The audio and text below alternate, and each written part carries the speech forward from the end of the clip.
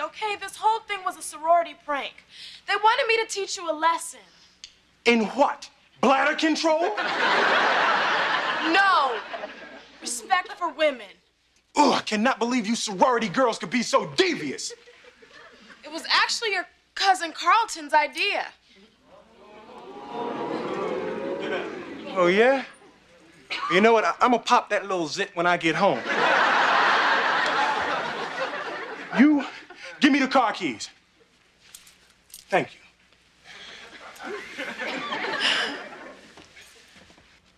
What you crying about? You don't care. You're damn right I don't care. You blame me for deceiving me.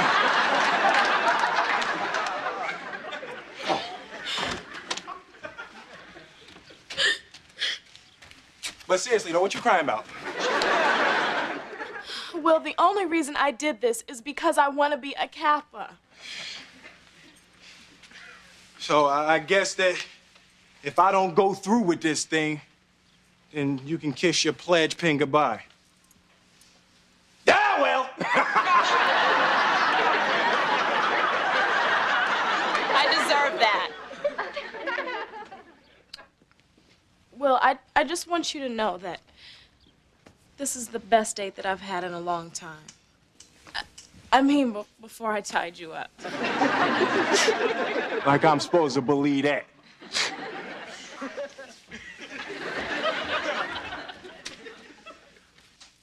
For real? Right, I'm so sorry. I'm a dog. I'm the best prince of the town. The dog is a ball dog. Unbelievable. Will Smith apologizing. My sisters, welcome the newest member of Kappa Phi Gamma, Lisa Wilkes. All right. Hey, wait, wait, wait, wait, whoa, whoa, hold up. What, what, y'all, y'all just gonna leave me hanging up here like a piece of rotisserie gold, huh?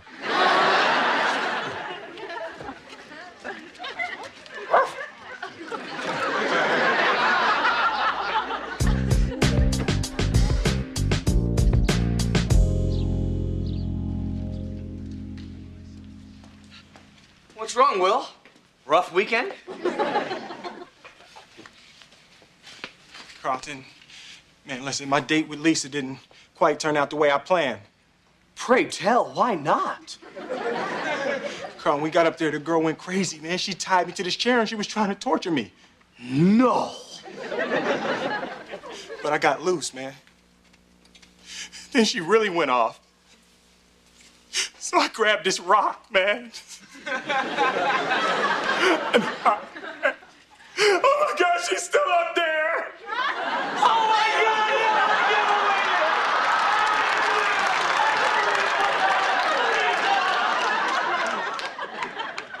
Gotcha. no!